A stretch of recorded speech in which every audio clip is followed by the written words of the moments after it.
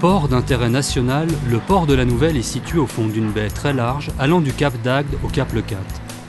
Carrefour des axes nord-sud et est-ouest, il dispose d'infrastructures routières et ferroviaires qui desservent ces axes à proximité du centre routier international de Narbonne-Croix-Sud.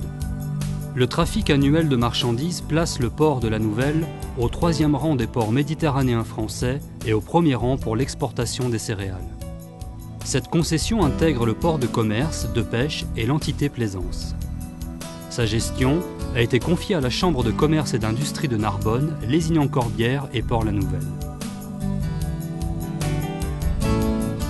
En 1998, une large réflexion est engagée sur les potentialités du port dans le but d'accroître son rayonnement, de pérenniser et de développer son trafic. Deux sociétés exploitaient les silos de Port-la-Nouvelle, elles se sont regroupées sous une même entité dénommée les Silos du Sud. Dans un souci de rationalisation de l'exploitation du site de stockage des céréales sur le port de Port-la-Nouvelle, la Chambre de commerce et d'industrie et ses partenaires ont entrepris de réunir en un seul site géographique les deux exploitations jusque-là séparées pour réaliser un complexe céréalier industrialo-portuaire. Cette délocalisation des postes de chargement permettra d'aménager l'amont du port de pêche et de plaisance, réduisant le dragage et la gêne occasionnée par le chargement des navires. Pour pérenniser l'activité de stockage du silo 1, on a décidé de construire une bande porteuse pour l'interconnecter au nouveau complexe que forment les silos 2 et 3 en aval du port.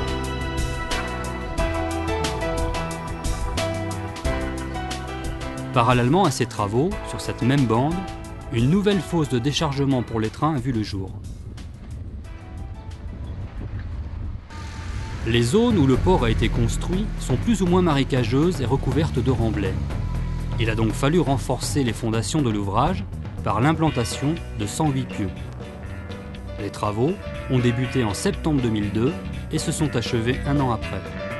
Cette rapidité d'exécution s'explique en partie par le fait que les équipes ont travaillé 24 heures sur 24 sur le site.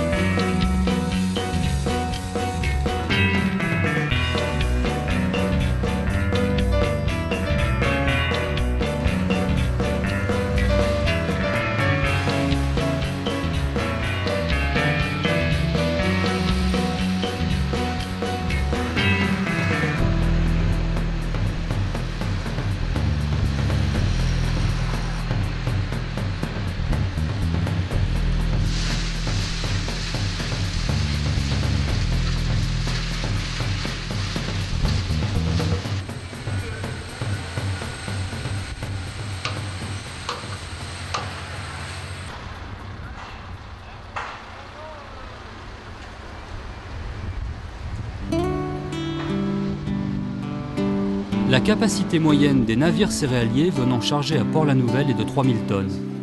4 heures sont nécessaires pour les charger grâce à un débit de chargement de 1000 tonnes heure.